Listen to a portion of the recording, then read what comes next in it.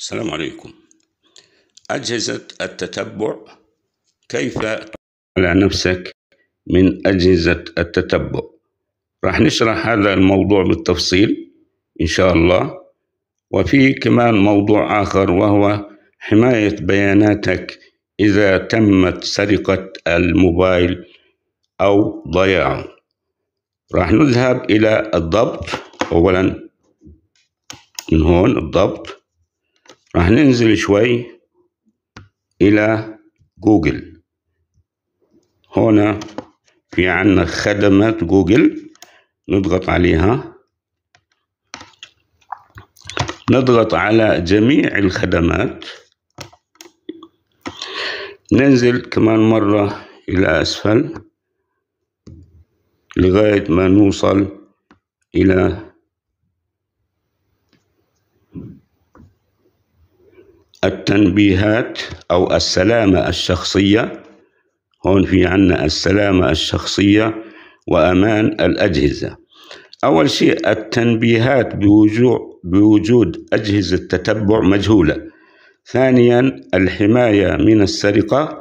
ثالثا مركز العثور. راح نعرف هذا مركز العثور شو أهميته بالنسبة للحماية من السرقة أو إذا تمت السرقة كيف يمكن لنا العثور على الجهاز من تطبيق مركز العثور؟ أول شيء بنذهب إلى التنبيهات بوجود أجهزة تتبع مجهولة. نضغط عليها. هون بيحكي لك عندما تكون التنبيهات مفعلة ستتلقى إشعارا في حال تم رصد أي أجهزة تتبع مجهولة متنقلة معك. يتم حذف التنبيهات بعد مرور 48 ساعة. أول شيء لازم هنا السماح بالتنبيهات بنفعل التنبيهات. كمان يجب تفعيل البلوتوث يعني علشان تشتغل التنبيهات. طبعا أنا بقدرش هلأ أفعلها لأنه ممكن يقطع علي التسجيل. هون بيحكي لك ما من تنبيهات بشأن أجهزة تتبع بعدين بتقدر تعمل بحث يدوي. إذا هون بتضغط على البحث الجهاز بصير يبحث لك عن أجهزة تتبع فإذا وجد أجهزة تتبع بيعطيك طبعا إنذار. هون بيشرح لك عن أجهزة التتبع. هي أجهزة صغيرة تتضمن بلوتوث يمكن للمالك إرفاقها بالأغراض مثل المفاتيح وحقيبة الظهر. طبعا هون بإمكانك مزيد من المعلومات حول أجهزة التتبع يعني ممكن تطلع عليها. نرجع إلى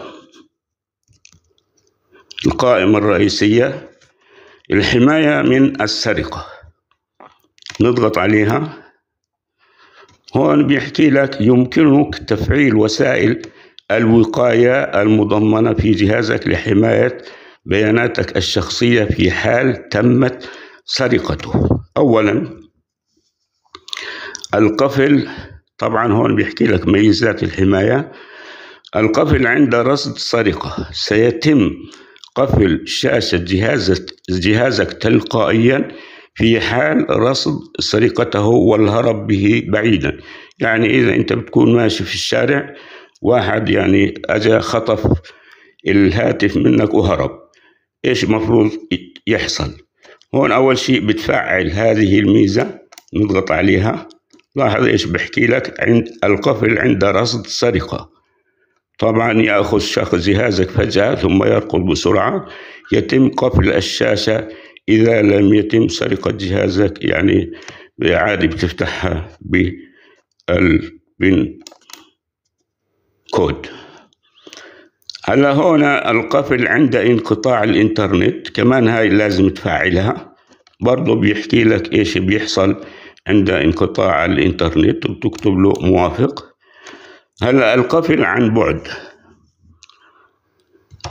هنا إذا ضاع جهازك أو سرق يمكنك قفل شاشته من أي جهاز آخر بإدخال رقم هاتفك على هذا ال يعني هذا الأندرويد كوم لوك. العثور على جهازك ومحو بياناته.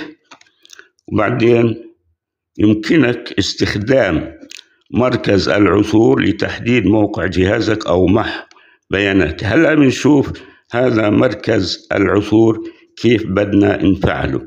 هون يعطيك مزيد من المعلومات حول إعدادات الحماية من السرقة بإمكانك الاطلاع عليها. هلأ بنرجع إلى مركز العثور. نضغط هنا على مركز العثور في حال فقدان هذا الجهاز أو أي أجهزة ملحقة متصلة به من خلال ميزة الإقران السريع يمكنك استخدام تطبيق مركز العثور لتحديد موقعها الجغرافي يعني بيحدد لك الموقع بالضبط. بإمكانك طبعا تذهب له وتعثر عليه السماح بتحديد الموقع الجغرافي لازم نفعله طبعا هنا لازم تضع البن اللي هو آه، رقم فتح الشاشة. ممكن هاي ما تظهر لكم. ومتابعة. هيك قمنا بالسماح بتحديد الموقع الجغرافي. هنا القفل عن بعد. في حال فقدان هذا الجهاز أو سرقته يمكنك قفله باستخدام رقم هاتفك. العثور على الأجهزة غير المتصلة بالإنترنت. هلا مركز العثور. هون تطبيق مركز العثور. يمكنك الحصول عليه من Google Play. لو ضغطنا هون بيجيب لنا مركز العثور من Google Play. ما عليك إلا تعمل هون تثبيت. نرجع لمركز العثور. لاحظ موقع مركز العثور الإلكتروني على الويب نضغط عليها. شو راح يجيب لنا هلا؟ بيعطينا بيعطينا خارطة بموقعك اللي انت موجود فيه. لاحظ أنا موجود الآن في الضفة الغربية في فلسطين.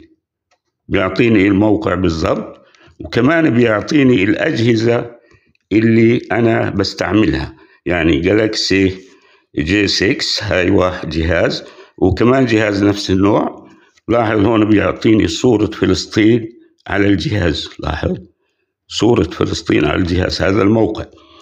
هلا في عندي كمان جهاز اسمه جالاكسي A31 يعني إذا في أي جهاز آخر موجود مع هذه الأجهزة أنت ما تعرفه أو مش إلك بإمكانك تعمل خروج منه. وهذا يعني هذه ميزة كثير كويسة على أساس أنه بيكون أحد الأشخاص مخترق جهازك فبالتالي بإمكانك عمل خروج من هذا الجهاز. يعني أتمنى أني أكون قدمت إفادة لكم وإن شاء الله تستفيدوا من هذا الفيديو. والسلام عليكم ورحمة الله.